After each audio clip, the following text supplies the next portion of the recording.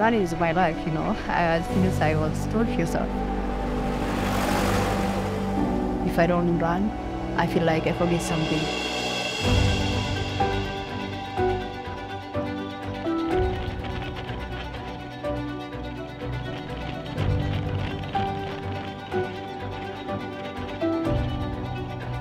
Once I become an athlete, it's very difficult to stop running. I'm really happy, 100%.